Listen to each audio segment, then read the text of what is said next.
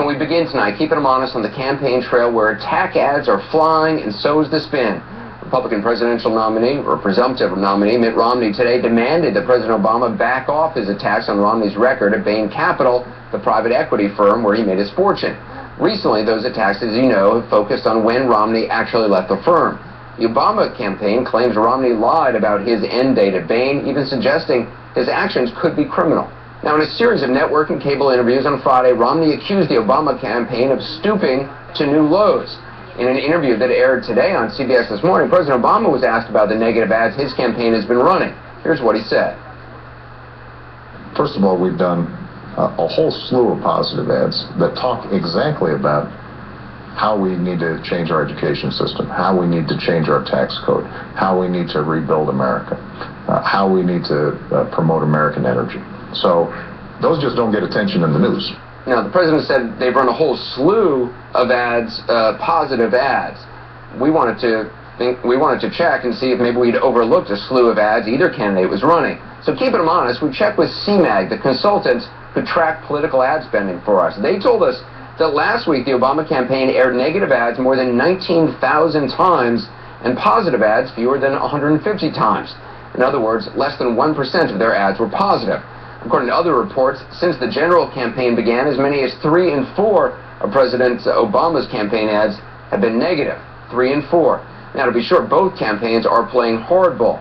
During the two weeks ending July 9th, about 89% of Obama's ads carried an anti-Romney message, and 94% of Romney's ads criticized President Obama. That's again, according to CMAG. Those are the numbers. The Obama campaign, however, is spinning a very different narrative where the word negative doesn't really exist. Over the weekend, Obama campaign spokesman Jen Psaki said they wanted to have a, quote, highbrow debate about uh, what Americans really care about. But keep them honest, all weekend long, they instead focused on attacking Romney's ties to Bain and his personal finances. He's taken advantage of uh, every single conceivable attack shelter and loophole. Mr. Romney attested to the SEC uh, multiple times that he was the chairman, CEO, and president of Bain Capital. That company also uh, was investing in companies that the Washington Post called pioneers of outsourcing. If you're telling the SEC that you're in charge, but you're telling the American people that you bear no responsibility, one of those things is not true. Stop whining. Defend. If you want to claim Bain Capital is your calling card to the White House, then defend what happened to Bain Capital and what happened and to those jobs that went overseas, those jobs that were actually cut and eliminated. I don't want to pioneer in outsourcing.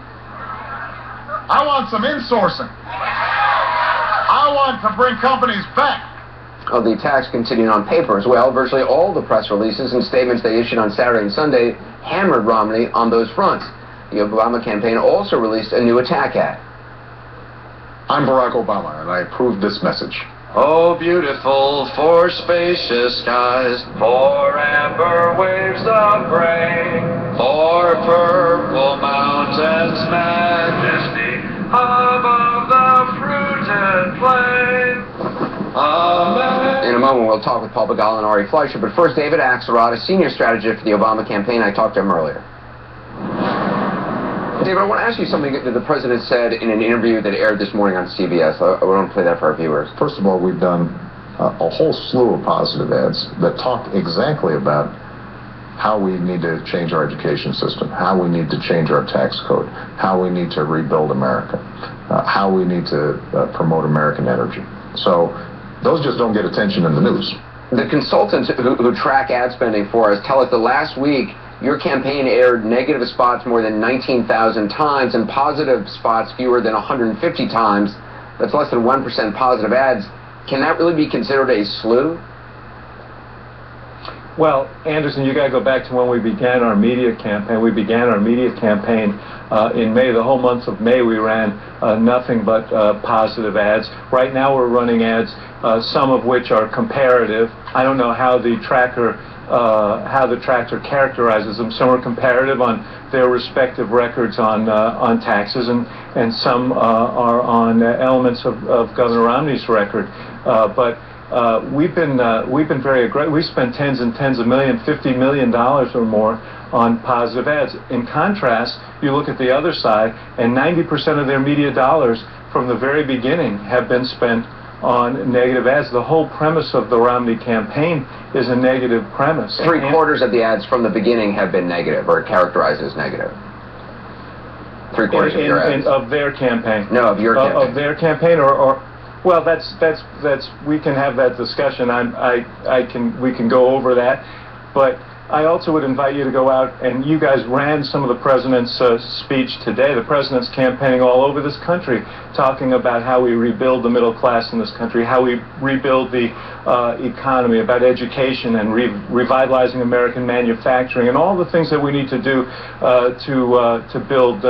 Uh, to build our economy in a way that gives people a chance. The tone of this debate has come under criticism. Jen Psaki, uh, an Obama campaign spokeswoman, said over the weekend that the president wants a, a highbrow debate about, quote, what the American people actually care about.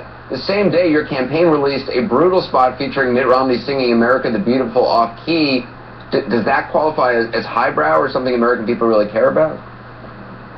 I think what they do care about, Anderson, is are we going to have a tax code that encourages outsourcing? That's what Governor Romney uh, supports. He has a history uh, in this area. Or are we going to support uh, insourcing and, and end those tax breaks and, and reward folks for creating jobs here in America? That's what the uh, president supports. Are we going to spend $100 billion a year on offshore tax shelters of the sort that Governor Romney has availed himself of? Or are we going to uh, use that money for better purposes? These are the discussions we're going to have moving forward, and the perspective you bring to it is important. Is it just a coincidence, though, that these Bain attacks really came about after some very bad job numbers came out uh, about two weeks ago? Anderson, I, I actually think, and you may have even talked about it on your show, uh, we've we've raised issues about uh, about Bain, and let me tell you, uh, long before these last couple of weeks, and let me tell you why. The only credential that Governor Romney is offering for the presidency is his business experience. Never talks about the fact that he was governor of Massachusetts, and with some good reason, because that record wasn't exactly a, a glittering record of job creation. Uh, so he talks about the fact that he's a businessman and he has great insights into the economy as a result. And so, of course, we're going to look at what that business experience is, and we, we began that, uh, taking a look at that as soon as he became uh, the nominee. It, this isn't something new. It's part of the discussion. He entered it into the discussion, and now we're engaging in that discussion. He says, wait a second, don't talk about my business experience, so he can talk about his business experience, but he doesn't want us to talk about his business experience. Your campaign has even said Romney may be guilty of a felony. He's demanded an apology for that. I know you've made it clear there's no apology coming. I- At this point, though, is there enough evidence out there to, to really make that claim?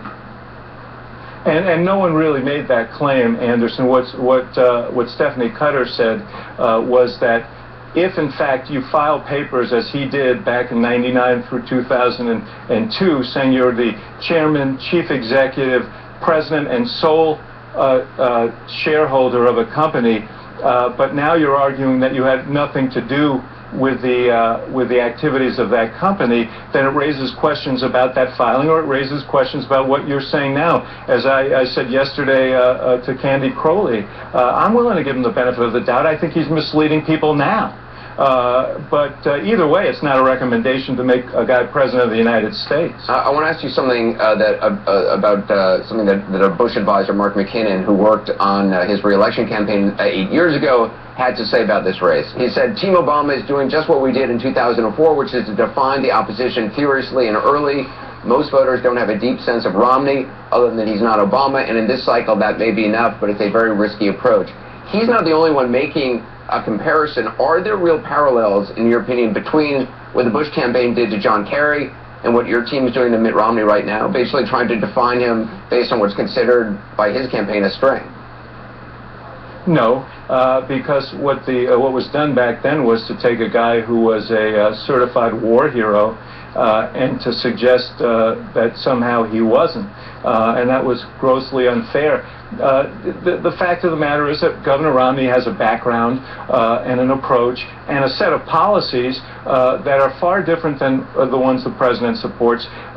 We are very much for policies that are going to boost the middle class. We believe in building this economy from the middle class out. He believes in a top-down approach, and it's and it flows from his experience and the lens through which uh, he sees this economy. And so uh, that's very much fair game. I wouldn't say it's the same at all. But let me just add one thing, uh, Anderson, and that is uh, one of the reasons why uh, uh, Mark notes, as Mark notes, that people don't really know Governor Romney, even though he's run for president twice, is because he's never told them who he is.